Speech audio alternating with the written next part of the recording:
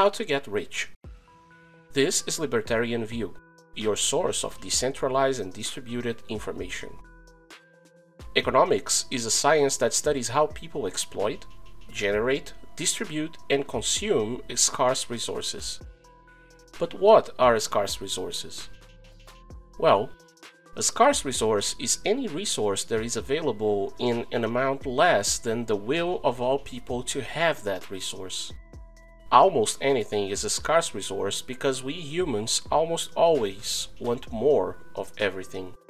An example of a scarce resource is the beachfront land in Leblon. In case you didn't know, Leblon is a district in Rio de Janeiro full of rich socialists. It has a nice, relatively clean beach of about 800 meters. This is one of Rio's most expensive addresses. Many people would like to live on the seafront in Leblon. But no matter what you think of it, there is a limited number of people who can live there. There are many more people who want to live there than what is allowed by physics. Two bodies cannot occupy the same place at the same time, and this determines that ultimately there will always be scarcity. An example of a non-scarce resource is air. We humans need air to live, it is a fact, but it is also a fact that once our basic need is satisfied, we have no need for additional air.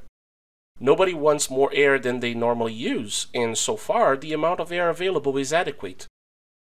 Note, the scarcity of a good is not a permanent quality of the good in question. It is an attribute derived from the quantity of that good, the human interest, and the ability to obtain such a good. An asset can become scarce as a result. There was a time when land was not scarce. Before the invention of agriculture, humans were hunter gatherers and saw no interest in having more land. There was land for everyone. Land was not a scarce resource at all. This changed with the advent of agriculture. Likewise, it is possible that at some point in the future, air will cease to be abundant and become scarce too, due to new uses or population growth. Economics is a large area of human knowledge. There are countless questions that are posed, discussed, some with already known answers, many still to be studied. But let's not kid ourselves. Everyone's biggest concern is just one how to get rich. Okay, this title is almost a clickbait. This is not a get rich quick course. This is also not quantum coaching, but yes, let us address the wealth generation topic here. That title was just to get your attention because, well, you know, the viewer's attention is a scarce resource that all YouTubers are looking for, isn't it? And yes, everyone wants more from scarce resources. That is the concept of wealth, having many scarce resources under control. There are, of course, people who want to get extraordinarily rich. Others just want to have comfortable life, to be able to live without too much turmoil to provide an equally comfortable life for their children. But with very few exceptions, nobody wants to be poor. That is, some really want to be rich, others want to be just a little bit rich, but nobody snubs wealth. Wealth is practically synonymous with human will. Adam Smith was the first to consider wealth an important part of the economy. In fact, economics, according to Smith, was wealth centric. Smith defines wealth as equity, Patrimony is the name given to everything the person owns, which includes land, housing, goods, money, food. In short, all the things you own constitute your patrimony. Equity is what is left if you subtract your debts from your patrimony. Note that wealth does not necessarily have a monetary value. It is just a set of things, Adam Smith defined the true measure of a nation's wealth as the wealth of the people, not the wealth of the king, nor the wealth of the state, I would add. Although this definition is still common sense nowadays, there are in fact several problems with it. One of the raised issues is the so called common good, or welfare. And what is that? Is the notion that your wealth depends not only on the things you own, but also on the things other people own. For example, imagine you might have a big, beautiful, and comfortable house, but it's located in a dirty and dangerous area. Violence and insecurity are not on your property, they are around you, on other people's properties. Now compare that to having the same house but in a peaceful, wooded, clean neighborhood, where other people's properties nearby are safe and well taken care of. Your property is exactly the same, but of course the second scenario is much better, so its monetary value is going to be fundamentally different. How well you live does not depend just on your property, it also depends on the property of other people around you, and even to some degree on the property of everyone in the world. This view, defended by some other classical economists such as Alfred Marshall and Arthur Pigou, understands that wealth goes beyond one's patrimony. And you guessed it, that is where the notion of a welfare state, in which the government with the vision of wealth justifies relativizing private property to ensure that everyone lives better in general, comes from. The libertarian criticism to this point of view is just that a consensual solution would be far better than the coercively imposed solution. Sure, if you want to live in a good neighborhood, you will have to pay a maintenance cost for that policing, cleaning. That is the cost of living in society. But this cost does not need to be coercively imposed by governments, nor does it need to be in the form of laws and taxes, because that is in the interests of all parties. But of course, governments love to give the welfare excuse to justify their existence. Here we refer to wealth as a set of things, but it is clear that wealth, either defined as a private property or as a private property plus welfare, can be monetarily quantified. Not precisely, exactly, but as an approximate, accurate indicator. And this is where we get into the problem of absolute value versus marginal utility. When Adam Smith proposed his theory, his view was that things had an intrinsic value, he understood that the market could make a house price go up or down according to supply and demand. However, for him, there was an intrinsic value not dependent on the market price of the house but on the cost of building that house. The cost to build a house measured in labor would be the intrinsic value of that house. This view of absolute value leads to absurd ideas such as Marxist surplus value. Marginalists soon realized that things have no intrinsic value. If you invested millions to build a mansion beside a slum, that was just a bad choice of yours. There is no intrinsic value distorted by the market because the only value that exists is the marginal utility of choice. Someone who has a certain amount of money available will only exchange their money for your house if they think that the personal, subjective gain that they will have by owning that house is greater than the equally personal, subjective gain of saving their money or spending it in other things. So, if we have a form of money, a well established currency in society, we can measure the marginal utility of a good by its market value. Note that estimating market value is simple for things sold day by day such as beans or cell phones, but it is more complicated for things that are rarely traded. The only way to know the value of your property would be to actually put it up for sale and see the highest value someone offers for it. No matter how much you think your property is worth, it only has that value if someone agrees to buy it for that amount. So there comes a solution for the definition of wealth, either defined as private property or as private property plus welfare. The market value. Selling a mansion in a great neighborhood, one could make more money than selling the exact same mansion in a slum. The market itself is responsible for quantifying the common good, as well as any other attribute of the property. You can ultimately define your wealth as the sum of all the money you could make if you sold everything you own and paid off all your debts. But from an economic point of view, wealth itself completely loses relevance when we think of marginal utility. It becomes merely the consequence of how much you inherit from your parents, plus the sum of the decisions you make through the course of your life. Even if you start from scratch, if you make good decisions throughout your life, you can build up some wealth. If more than that, you were able to make optimal decisions very often, you can end up rich. Here's the answer to the question that names this video. My view is that making great decisions throughout your life and ending up a millionaire depends much more on luck and being in the right place at the right time than on some kind of personal ability. But I believe that it is especially important that we seek to make good decisions. This is within human capacity, as a matter of fact. Just do not mess everything up. Making good decisions, even if it doesn't make you a millionaire, can actually lead you to a comfortable life. And that's pretty reasonable already. Making wrong decisions is inevitable. At one time or another in your life, you're going to screw up. But if you learn from your mistakes, don't repeat them, and you will already have a big advantage. Those who do not learn from their mistakes are doomed to misery. Those who learn from their own mistakes can do much better, but the ideal is to be able to learn from the mistakes of others. As Eleanor Roosevelt said, quote, you can't live long enough to make your mistakes all by yourself. Close quote. Doing that, you don't have the cost of being wrong, but you still get that lesson for free. You just need to be a good observer.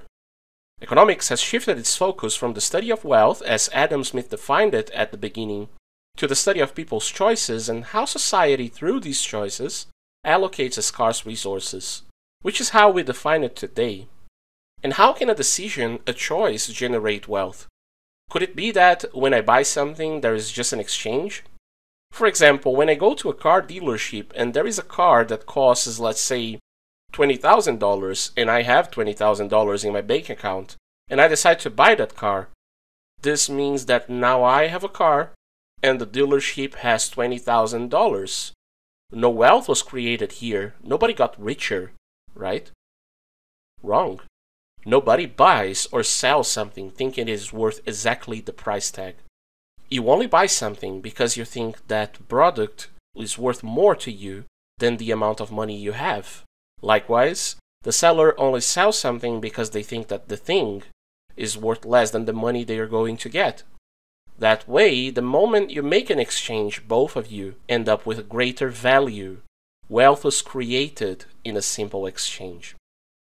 Of course, some decisions are wrong. You can buy something and later realize it is not worth what you thought. You can invest your money in something that doesn't give you the expected return. Yes, wrong decisions exist and they destroy wealth. But people's intention is always to increase value, and that's what happens most of the time. Additionally, sometimes people buy things that help them gain even more wealth. You can buy a car that adds a value for you, a car that simply gives you more comfort when traveling. This is wealth creation already.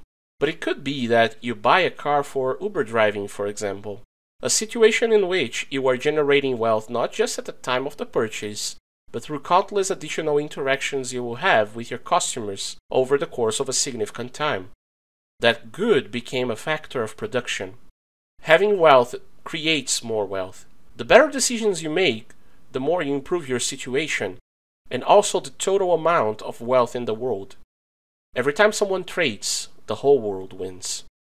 Furthermore, the division of labor is extremely important for wealth generation. Human beings are much more productive when they specialize in one thing, one profession, one task only. If you needed to produce all the food you consume, that would be extremely laborious. In fact, even trivial things like a pencil have many production steps and would simply be impossible to produce by a person alone. Have you already seen the Milton Friedman video? But since there are people who specialize in cutting wood, others in mining graphite, and so on, we can buy a pencil in exchange for a little bit of our work in the profession we choose. This way, whenever a decision separates work, dividing a task into smaller tasks, it generates wealth. People working on a more specialized task are able to produce more generating wealth for everyone. It is important to note that, contrary to what many socialists, communists, and envious people in general think, the economy is not a zero sum game. For someone to be rich, it is not necessary that someone else be poor. A mere trade generates wealth. The rich are usually those who have made good trading decisions through their lifetime. Of course, this rule is not absolute. Many are rich because they inherited wealth from their parents and that's legitimate because it is the parents' right to donate their wealth to whomever they want, usually their children. Inheritance is not a son's right, inheritance is a parent's right, who, as the legitimate owners of something, have the right to make donations upon the occasion of their deaths. But even among those who inherit, there are many who have destroyed all their heritage with bad decisions. And there are also examples of people who multiply their inherited wealth with good decisions. Surely, there are also people who acquire wealth through illicit means thieves, kidnappers, swindlers, politicians, friends of politicians. All of these fall into this category. They got rich at the expense of others using violence. These people's properties are illegitimate, as well as the properties of their heirs. But it's very important to note that it's no general rule that if you are rich, it's because you stole wealth from others. There is no such thing. It is perfectly possible to be rich, a millionaire even, only with good, legitimate decisions. The economy is clear about this. Those who are rich may have stolen things, and if there is evidence of this, it can always be taken to a private court. But remember, this is not the rule, this is the exception. Easily identifiable by the close relationship with the biggest criminal gang there is, the government.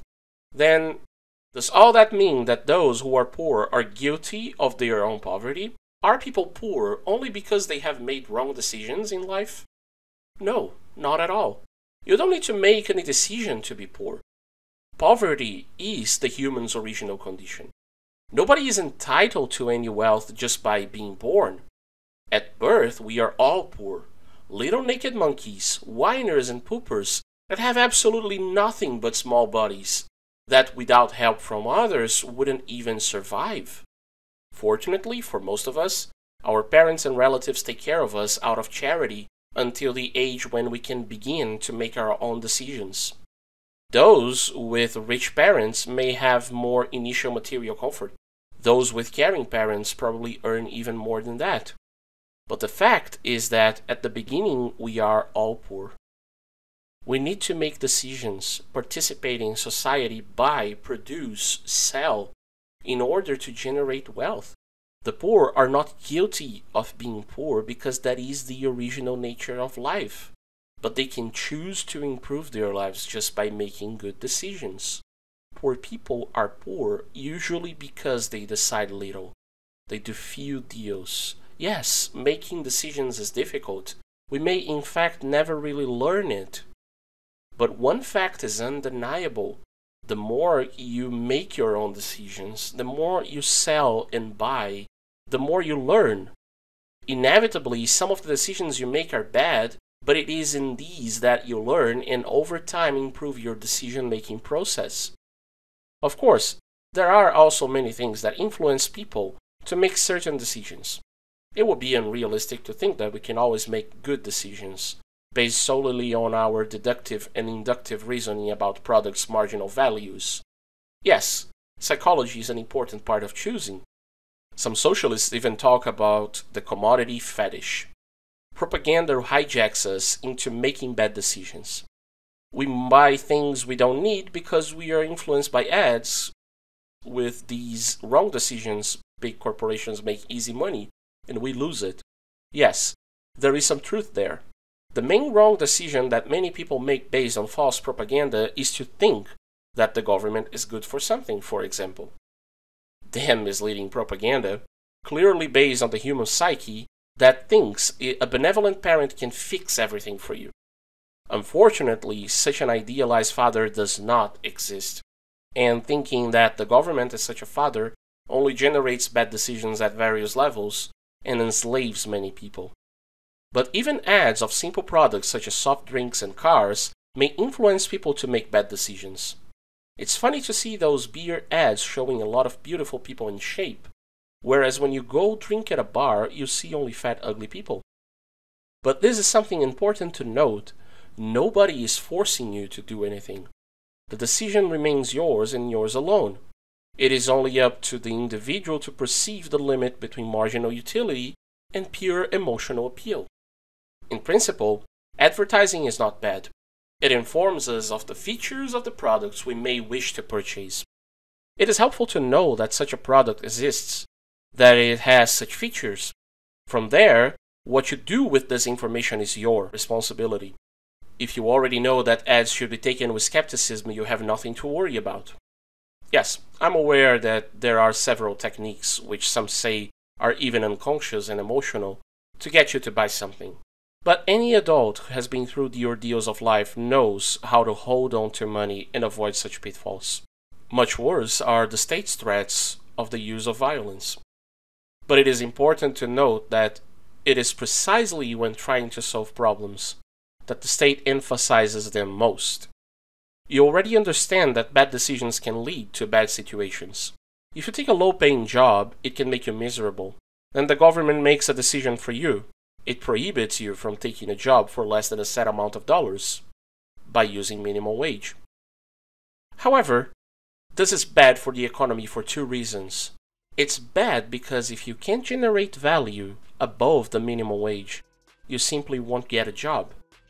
But more than that, without being able to choose, you are less likely to learn from your choices. So then any government limits the decisions we can or cannot make as the parasitic bureaucrat thinks is best for you. This is a tragedy. People become less and less able to decide about their own lives. Without making decisions, without making exchanges, without trading, these people are doomed to the original state of poverty. Those who were born poor are condemned to be poor for their whole lives. No one in the world knows what's better for you, better than yourself. You may make wrong decisions, but surely any decision made by a bureaucrat is worse than your worst decisions. Thank you for your audience. This article was originally written by Peter Turguniev, translated by Cabeça Livre, revised and narrated by Arthur Silvani.